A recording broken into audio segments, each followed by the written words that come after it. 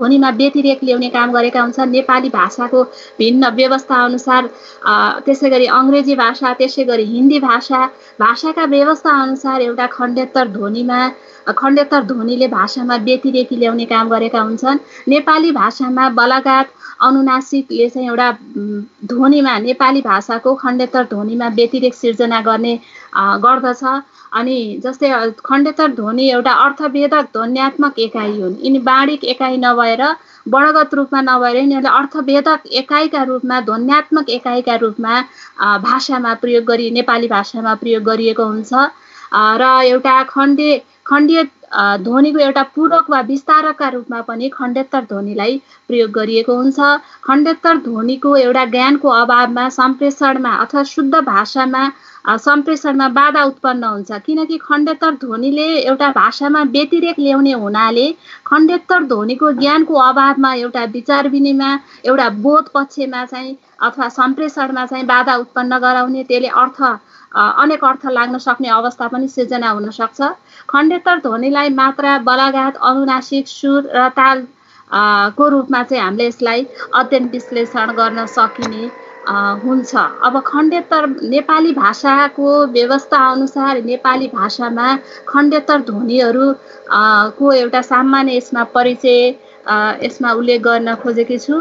अब मात्रा मात्रा। हामी खण्डेत्तर ध्वनिको रूपमा मात्रालाई हामीले ध्वनिको रूपमा खण्डेत्तर मात्राले हामीले प्रयोग गरेका छौँ।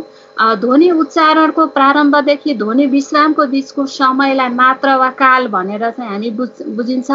र नेपाली भाषामा कुनै ध्वनिको उच्चारणमा धेरै समय लाग्ने कुनै ध्वनिको उच्चारणमा कम समय लाग्ने कुनै ध्वनिको उच्चारणमा एकदम निकै कम समय लाग्ने नेपाली भाषाका व्यवस्था अनुसार भाषिक व्यवस्थाहरूमा त्यो समयको निर्धारण छ भाषा विभिन्न भाषाको व्यवस्था अनुसार त्यसरी समयलाई एउटा मात्राले पहिचान गराउने खण्डेत्तर ध्वनिको रूपमा मात्राले पहिचान गराउने काम गरेको छ र नेपाली भाषाको लेख्य स्वरूपमा रसो दीर्घ पाइन्छ भने कथ्य स्वरूपमा व्यतिरेक भएको देखिँदैन। स्वरको उच्चारण र व्यञ्जनको उच्चारणमा लाग्ने समय भेदमा चाहिँ नेपाल नेपालमा बोलिने गुरुङ भाषा सुनुवार भाषा आदिमा चाहिँ व्यतिरिक सिर्जना गरेको छ। नेवारी भाषामा जस्तै ता भनेको एउटा ता भनेर उच्चारण र ता भनेर ताल्छ गुरुङमा मि भनेको आगो भनेर यसरी खण्डेत्तर ध्वनिलाई प्रयोग गरिएको देखिन्छ। त्यसै गरी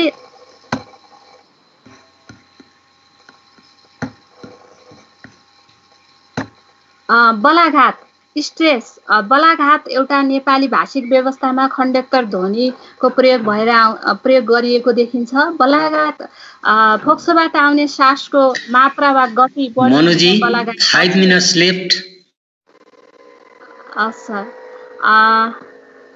बलाघातलाई यसरी नजिक वा फोक्सोबाट ध्वनिको स्वर चिम्टीको कम्पन र सङ्कोचन अवयको स्थानले नजिक वा टाढा को रूपमा चाहिँ बलाघातले प्रयोग गरिन्छ। बलाघातलाई ध्वनि अक्षर र वाक्यका रूपमा विभाजन गर्न सकिन्छ।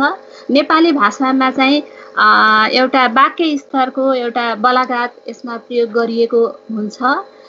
जस्तै राम राम भात राम नै भात खान्छ भन्दा राम भनेर रामलाई अलिक बलाघात अथवा त्यसलाई जोड दिँदाखेरि अरू खाने होइन खाना नै खाने हो अथवा भन्ने कुरा यसमा जोड दिएको छ। त्यसै गरी तान ध्वनिको उच्चारणमा पाइने उतार चढाव आरोह अवरोह नै सुर वा तान हो। स्वरतन्त्री कम्पन हुँदा सुर उच्च सुर र कम्पन घट्दै जाँदा निम्न सुरको सिर्जना हुन्छ। सुरले ध्वनिको अर्थ मा चाहिँ भिन्नता ल्याउने काम गरेको हुन्छ। सुरले वक्ताको आवेग संवेग अवस्थाको उच्चारणगत विशेषतालाई बुझ्न सकिन्छ र सुर र ताल एउटा सङ्गीत क्षेत्रमा पनि त्यसलाई प्रयोग गरिएको हुन्छ।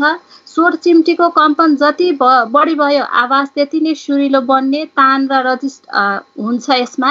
र सुर र ताललाई रजिस्टर र कन्तुर गरी दुई भागमा विभाजन गरेर अध्ययन गर्न सकिन्छ र गुरुङ भाषामा उच्च र निम्न गरी दुई तान व्यतिरेक हुने गरेको छ। र यसमा उदाहरण यसमा उल्लेख गरिएको छ। त्यसपछि अनुनासिकता।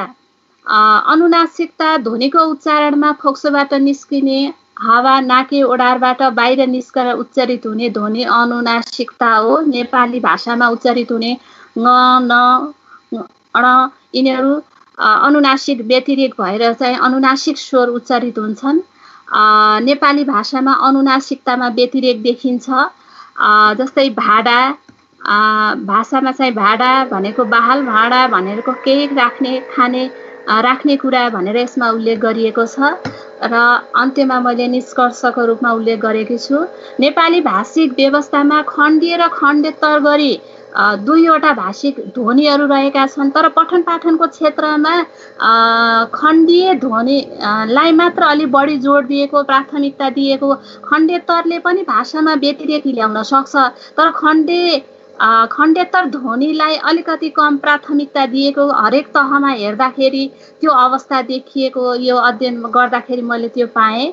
त्यसै गरी खण्डीय ध्वनिको उच्चारणमा अब खण्डीय ध्वनि आफै खण्डेत्तर ध्वनि आफै उच्चारित हुन नसक्ने हुनाले खण्ड खण्डीय ध्वनिको सहायताबाट चाहिँ उच्चारित हुने ध्वनिको रूपमा चाहिँ रहेको छ। यो चाहिँ खण्डीय ध्वनिमा आश्रित रहने ध्वनिको रूपमा यसले आफ्नो पहिचान बनाएको छ। मात्रा अनुनासिक सुर आदि ध्वनि चाहिँ एउटा खण्डेत्तर ध्वनिका रूपमा रहेका छन्। खण्डेत्तर ध्वनिले भाषामा व्यतिरेकी ल्याउने हुनाले एउटा शुद्ध भाषा मानक भाषा उच्चारणका सन्दर्भमा खण्डेत्तर ध्वनि एउटा शुद्ध भाषा मानक भाषामा चाहिँ खण्डेत्तर ध्वनि एउटा भाषा सिकाइका सन्दर्भमा चाहिँ आवश्यक रहेको छ र यसले मौखिक अब नेपाली भाषालाई पहिलो भाषा अथवा दोस्रो भाषाका रूपमा सिक्ने सिकारुको लागि खण्डेत्तर ध्वनिको बारेमा चाहिँ ज्ञान हुनु आवश्यक देखिन्छ।